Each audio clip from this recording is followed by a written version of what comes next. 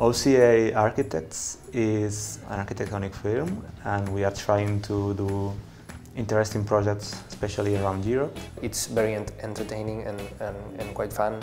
I love it. But you have to put a lot of sacrifice into it.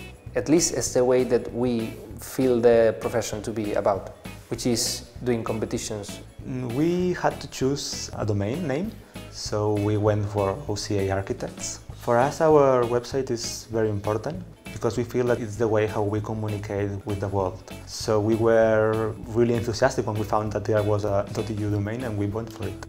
When you begin, it's hard because doing competitions is not an instant success, so you have to keep trying. Just to have the opportunity to imagine things as a profession, it's good enough to invest at it.